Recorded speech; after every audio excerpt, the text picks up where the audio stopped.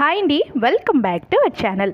చాలామంది కామెంట్ సెక్షన్లో గ్రహణం గురించి ఇంకా అడుగుతున్నారు. అంటే గ్రహణ సమయం విడిచిన తరువాత మేము కూరగాయలు కట్ చేసామక్క లేదా ఇల్లు ఊడ్చాము బట్టలు ఉతికాము నెక్స్ట్ ఫ్రూట్స్ కట్ చేసాము వంట చేసాము సో మేము ఈ పదార్థాలు తీసుకున్నాం. ఏమైనా అవుతుందా? ఈ పనులన్నీ చేసాం గ్రహణ సమయం విడిచిన తరువాత కూడా చేయకూడదని అంటున్నారు కదా. సో ఈ పనులన్నీ చేసాం కడుపులో బేబీకి ఏమైనా అవుతుందా? కానీ చాలామంది అడుగుతున్నారండి.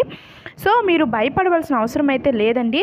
అప్పటి రోజుల్లో అప్పటి రోజుల్లో అంటే మన ఇంట్లో పెద్దవాళ్ళు కూడా చెప్తూ ఉంటారు గ్రహణ సమయంలో ఎంత జాగ్రత్తగా ఎన్ని నియమాలు పాటించామో అదే మాదిరిగా గ్రహణం విడిచిన తరువాత కూడా నియమాలు పాటించాలి అని మన పెద్దవాళ్ళు అయితే చెప్తూ ఉంటారు. సో గ్రహణం విడిచిన తరువాత కూడా మంచి పట్టు ఉంటుంది. గ్రహణం నియమాలు అనేవి తప్పకుండా పాటించాలి అని చెప్తూ ఉంటారు. అందుకోసమే నేను కొన్ని వీడియోస్లో అయితే చెప్పాను. సో మీరు ఇల్లు ఊడ్చామండి లేదా బట్టలు ఉతికాము కూరగాయలు కట్ చేసాము అంటే చాక్ అనేది పట్టుకున్నాం. సో ఏమైనా అవుతుందా? క్లిప్స్ నెక్స్ట్ జడ అనేది ముడివేసామక్క అల్లిక వేసాము ఇలాంటివి అడుగుతున్నారు. సో మీరు భయపడకండి.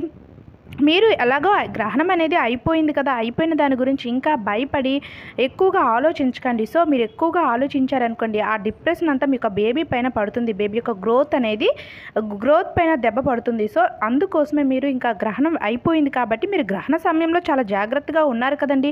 సో గ్రహణ సమయంలో జాగ్రత్తగా ఉంటే సరిపోతుంది. గ్రహణం విడిచిన తరువాత నియమాలు పాటించాలి అని అప్పుడు అనేవారు. సో మీరు పాటించకపోయినా సరే ఎలాంటి ప్రాబ్లం కూడా ఉండదండి. దాని గురించి ఆలోచించి ఇంకా ఎక్కువగా ఆలోచించి దాని గురించి ఎక్కువగా కామెంట్ సెక్షన్లో కామెంట్ చేస్తున్నారు. సో మేము ఈ పని చేసామక్క ఏమైనా అవుతుందా? వంట చేసాం ఏమైనా అవుతుందా? అని అడుగుతున్నారు. సో మీరు ఇంకా ఏం కాదండి. ఎలాంటి ప్రాబ్లం కూడా లేదు.